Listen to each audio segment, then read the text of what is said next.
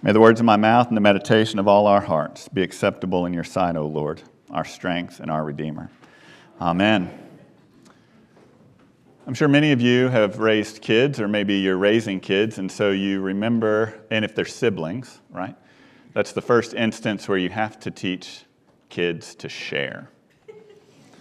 Sometimes maybe you have to teach your adult kids to share or your partner to share or something, but I'm talking about kids. Mine left to go to Children's Chapel, so I'm going to talk about them now. I'm not going to tell you if this story happened when they were three and five or 13 and 15, because the answer is yes.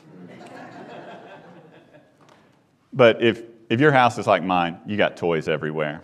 You got Legos, you got cars, you got stuffed animals. And sometimes when my boys try to play with each other, one of them will say, I need to get all of the toys, right? And so at that point, like if you get all the toys, you've won, right? Like have you won playing together? Like, is that a competition? Because what happens when you have all the Legos? Your sibling, your friend can't play. What happens when you have all the cars? Your friend gets to watch you play, your sibling gets to watch you. When you have all the stuffed animals, what good is that? There's no interaction, there's no play, there's no sharing. In our epistle reading today, Paul's writing to a people who are trying to figure out how to live together. The church in Philippi had conflict. All, all churches have conflict. Shocker, if it's your first time around here, we have conflict too, just letting you know. So, Paul was writing to people. And Paul just doesn't like write letters for just, just because, right? He doesn't write to a letter, say, oh, I haven't checked in a while. I'm just going to go tell them all these like nice things.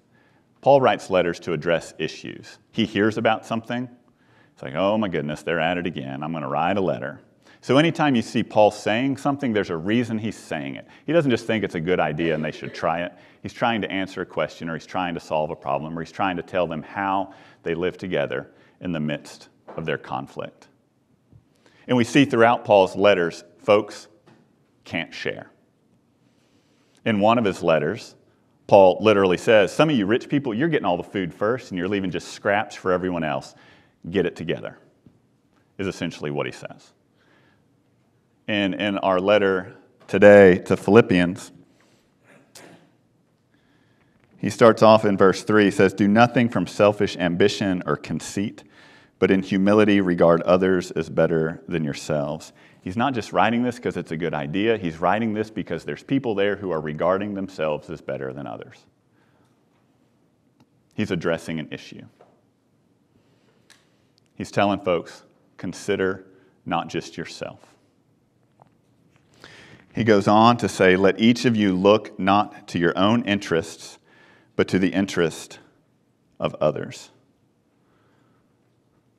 Let each of you not look to your own interest, but to the interest of others. This verse is really interesting. In the Greek, that word interest isn't there. So when Paul's writing to these people, telling them to get it together, he's like, let each of you not look to your own, whatever it is. He's letting them fill in the blank. He's saying to those people, let each of you not look to your own schedule and how busy you are. Let each of you not look to your own bank account and how much money you have. Let each of you not look to your own job title and how important you are. Let each of you not look to your own wardrobe. Let each of you not look to your own interests. Because if you win the game and you have all the stuff, what good is it?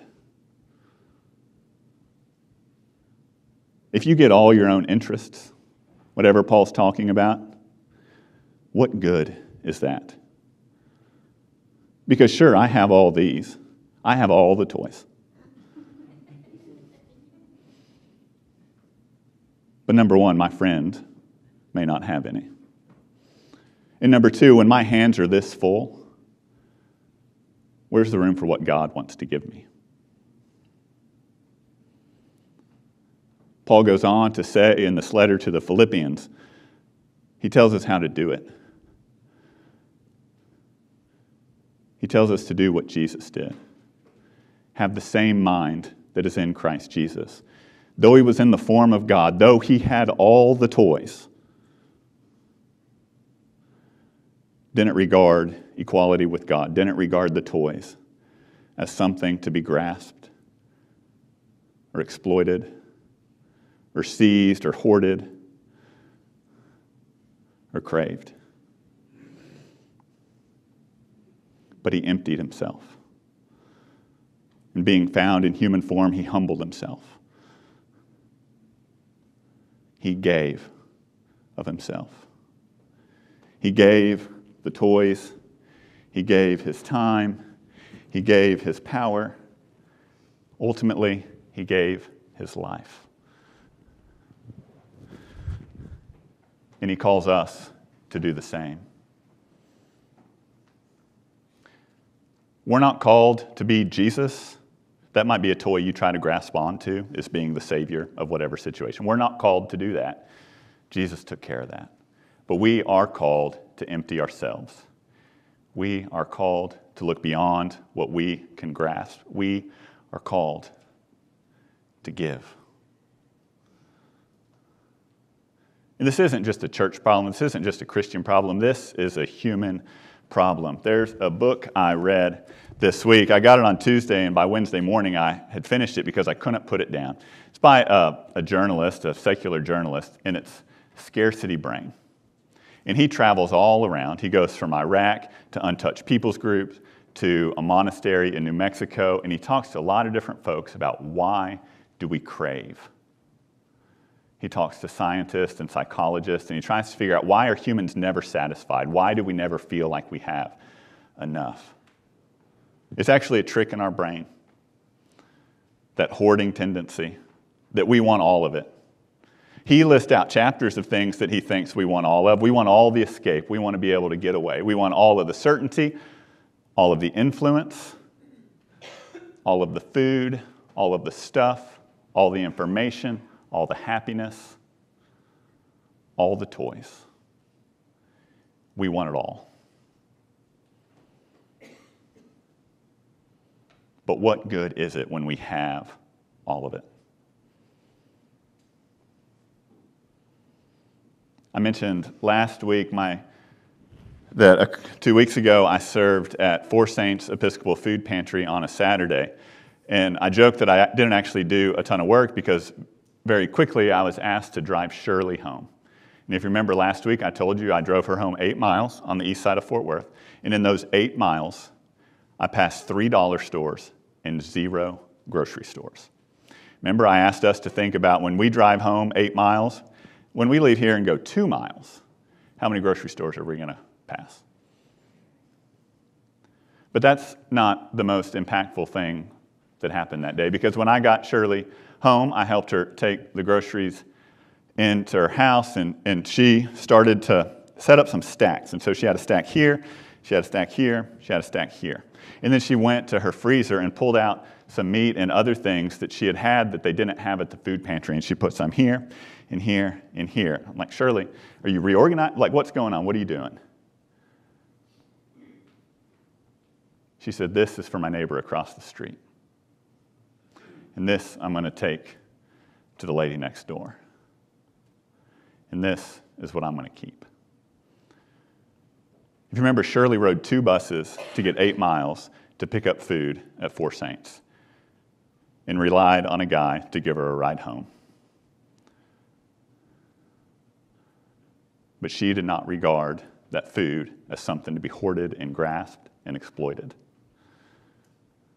But she gave of herself. She emptied herself. She shared her abundance. At the end of this book, Michael Easter, the author, he sums up what it's all about. Says, Our world is overloaded with everything we're built to crave. The fix for scarcity brain isn't to blindly aim for less, it's to understand why we crave more in the first place and then shake our worst habits and use what we already have better. Then we can experience life in a new way, a more satisfying way. We as Christians don't do nice things. We don't give. We don't share because it's a good thing to do. We do it because we think it's the most satisfying way. Because we are called to use what we have better. That's stewardship. Using the gifts, the talents, the ability, the time, the money. Using what we have better. And if you think this is just pop psychology, well, it kind of is. But Jesus echoes what Michael Easter says, or maybe it's the other way around. And the author echoes what Jesus says. Jesus, in a conversation with folks in the Gospel of John, he's talking about why he's here, what he came to do, what his purpose is, Jesus says, I have come that you may have life and have it more abundantly. Jesus didn't come so we could have life where we grab everything and hold on to it. Jesus didn't come so that we might have life where we might win at life. Jesus didn't come so that we could have all the toys. Jesus came to show us what it means to live. Jesus showed us what it means to share. Jesus showed us what it means